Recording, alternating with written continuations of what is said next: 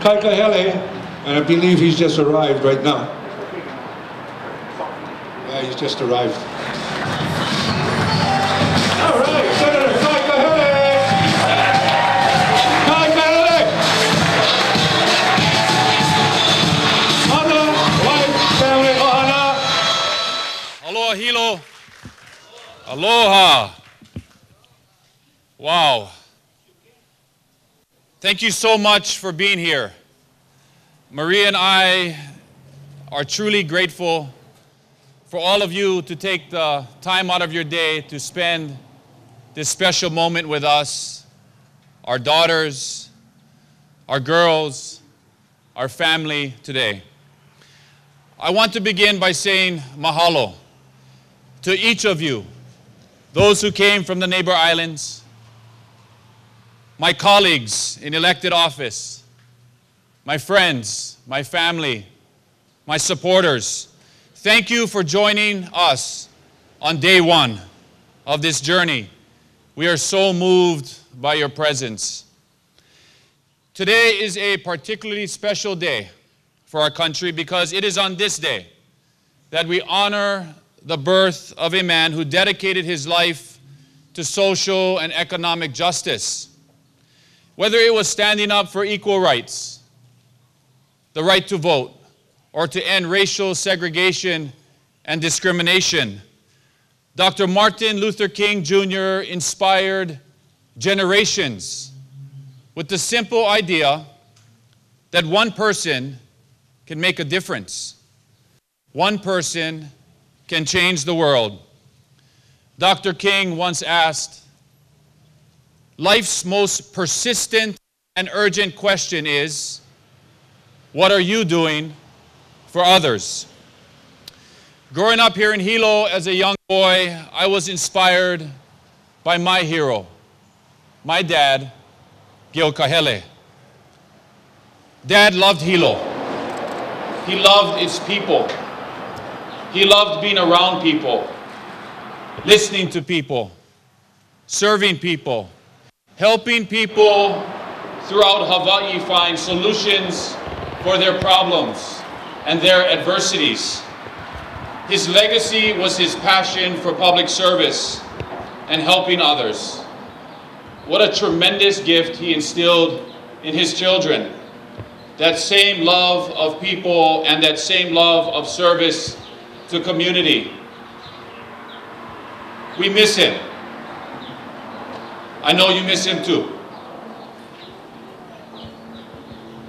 And I think about him every day.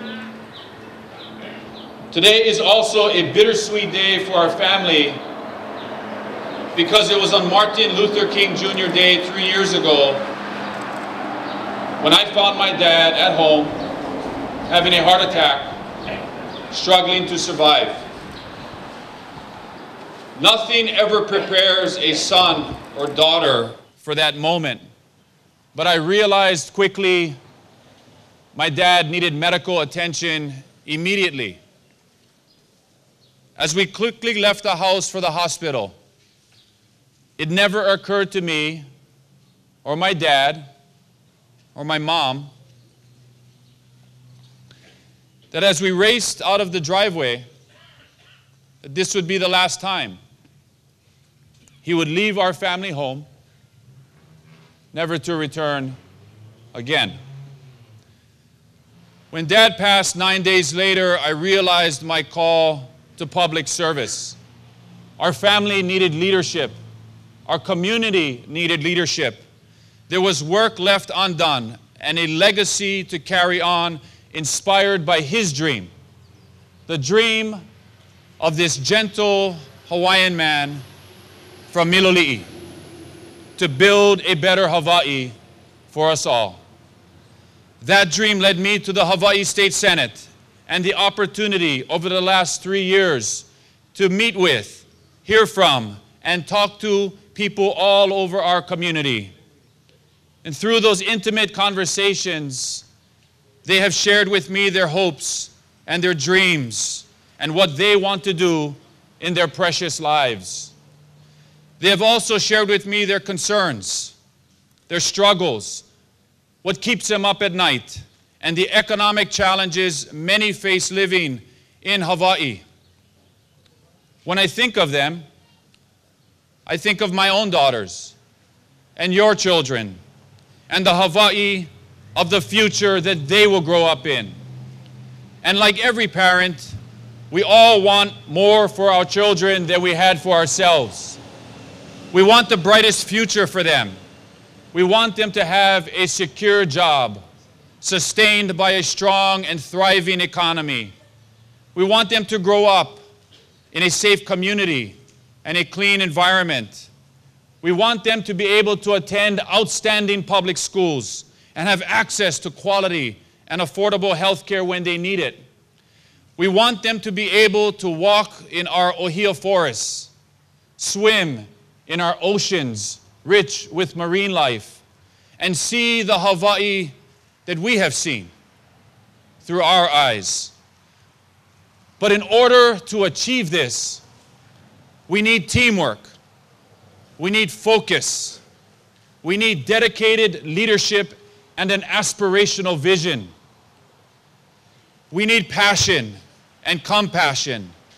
We need courage and collaboration. We need commitment and humility. We need elected leaders working together. Leaders who put the common interests of Hawaii's people ahead of their own.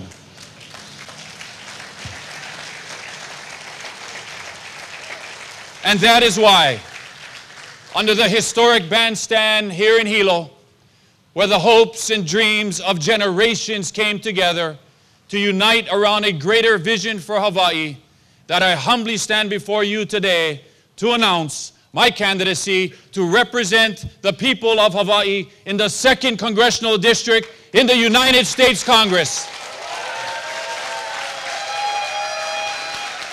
Mahalo. Thank you.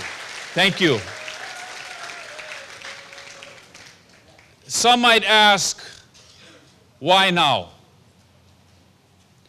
In Dr. King's now famous I Have a Dream speech, he talked about what he called the fierce urgency of now. That there is such a thing as being too late. This is no time for apathy or complacency. The time is now for vigorous and positive change.